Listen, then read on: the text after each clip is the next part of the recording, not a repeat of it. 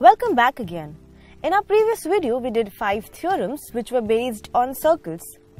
I strongly recommend you to watch the first video if you haven't seen it because I have explained some basic concepts which are required for all the 12 theorems.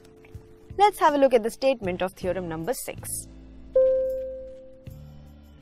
Equal chords of a circle or of congruent circles are equidistant from the center.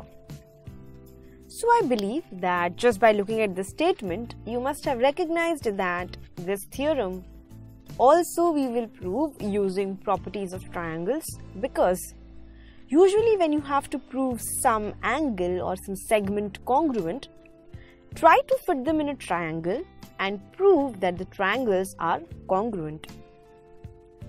So let's consider a circle with center O and two equal chords AB and CD. We have to prove that the distance from the center to the chord is equal.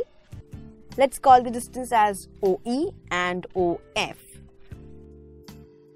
So if we can prove triangle AEO is equal to triangle CFO, then we can say that distance OE is equal to OF.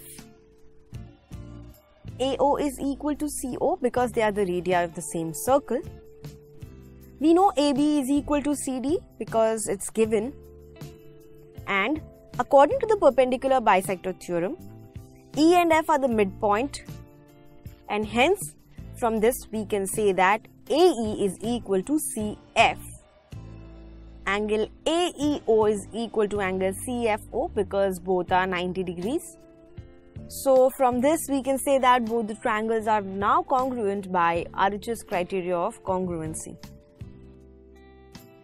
So from this we can say that OE is equal to OF.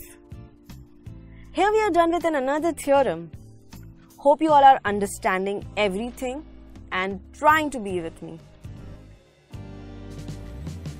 I hope you like our video. You can also buy our courses in the form of DVDs, pen drives and online courses which are available on different platforms. All links are given in the description box below.